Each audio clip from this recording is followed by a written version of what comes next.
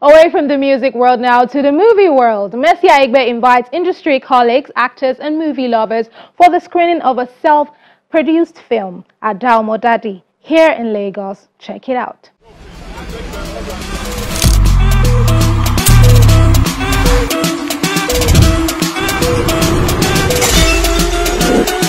Three, two, one, and action! Nollywood actress Mercy Aigbe says her soon-to-be-released film Ada Omo Daddy is aimed at unifying the Igbo and Yoruba culture, describing the film as one with family-oriented story with major themes including love, unity and reconciliation. It's a large-scale film. It's a big project job and first off, financing it was not easy.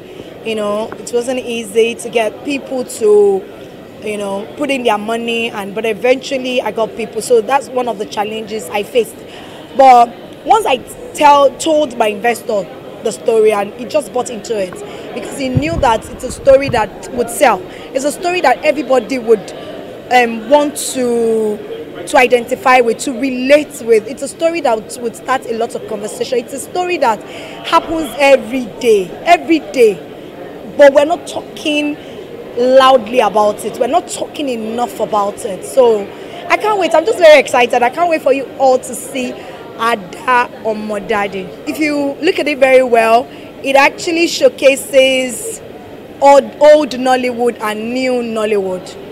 If you see someone like Charles Okafor, who, by the way, has been absent from active acting for a while, so this film is like a um, comeback to mainstream acting and I was really excited working with him because Uncle Charles, you know, used to be one of my favorite because I love the way he delivers his roles. And so when I told him about the story, his excitement, and then when he eventually came to set, and oh, well, let me not talk too much. You're all need to see Charles Okafor in the film Ada Omo Daddy. And then I had Sir Chiwetalu Agu, which for me was a great honor working with him. I had oh, Auntie Shola. Auntie Shola is my mommy. Everybody knows that. So I had, had you know, Auntie Shola on set. I had um, Omowunmi Dada played the lead. And the choice of Omowunmi Dada for me, apart from her physical attributes, because, you know, cast when you're casting, it has to, there has to be some sort of resemblance, synergy to to other characters, especially when it comes to like parents and their offspring and all that. So apart from that, apart from that, she has a little bit of resemblance to to Uncle Charles. Omowunmi Dada, she's an amazing actress. As in, she killed it. Before now, I'd seen her in some projects, and then, you know, when I wanted to work on the story. Everybody was saying, Mercy, play, play the role now, play the role now, play the role now. You know, play the and I'm like, I don't want to play the role. I want someone younger. But because that role is very dear to my heart, I want I want I want someone who would do great justice to it. One of the movie's co-executive producer, Kazim Adeoti, says the movie is done on a big scale, shedding light on some of the major challenges he faced during production. And some of the uh, seasoned actors that we thought were going to give us issues uh, turned out to be, you know, very good, you know, support to us on set, even before, during, and after the set uh, we realize that uh, they, they are very professional, they are very wonderful people, and they are still giving us the support and they even promise that, you know, uh, come uh, to uh, December 15th at the cinema, uh, they are still going to be giving us the kind of support we want from them. Former reality TV star and actor Tayo Faniran says he had fun working with the team while playing the character Victor. The atmosphere was beautiful he lays emphasis on the lessons viewers are likely to take home after watching the movie. Uh, this is my work, it's my job.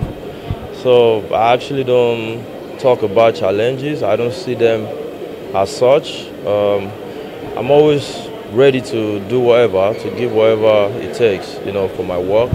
Um, but I, I, I, wouldn't say it was easy. I mean, there's nothing great is uh, achieved easily you know, but because I love what I do, I had fun doing it. And I also thank the production team, especially the producer, uh, Mercy Aigbe, her husband, uh, big brother, Kazim Adeoti. You know, they were amazing. They made sure we're okay, we're well taken care of. Um, they, they made us comfortable. You know, they treated us with love, respect. It was a beautiful atmosphere to work in. And so, yeah, so I can't I didn't have any hard time doing this. Yeah. So the lessons for this, uh, from this movie, for the viewers, right, to pick from this, is that um, we all, you know, first of all, should live, live as one. That's one of the motives uh, behind this movie, you know, is to, you know, showcase the Yoruba culture, the Igbo culture, because, you know, when you talk about Nigeria, we're not complete when you don't bring, you know, other regions, you know, into it. And uh, we all need synergy, you know, to live together even though there was a clash, there was drama between, you know, the Igbo side of the, you know, the, the, the story and the Yoruba side of the story. But eventually there was a place where we all found, you know, that love, you get what I'm saying, the bond, and we were able to, to resolve things, you know, and that's how life should be about. That's how our country should be. That's what we need, no matter the differences of the past, you know, we need to find an amicable, you know, settlement, you know, where we all find a common ground and see ourselves as one. Before the tribe, before you're Igbo, Hausa, uh, Yoruba, wherever you are, uh, we are all humans, you know, and yeah, let love lead. Ada Omo Daddy is available in cinemas from the 15th of December 2023.